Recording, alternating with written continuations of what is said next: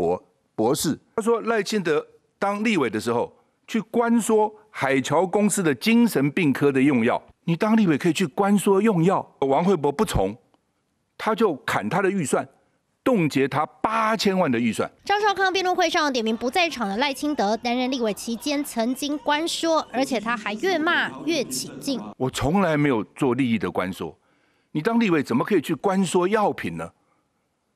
怎么可以呢？王惠博现在是公开来指控你哦，你当立委去关说药品，我觉得你比阿扁还不如啊。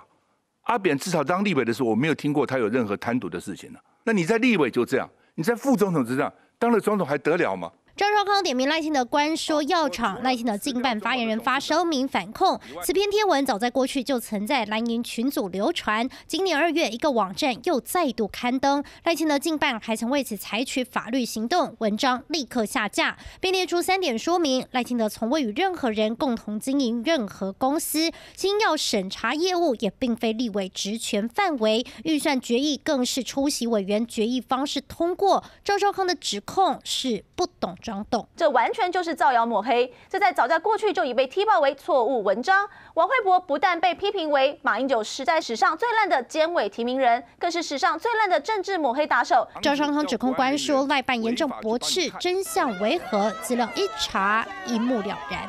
三十黄线朱淑君台北报道。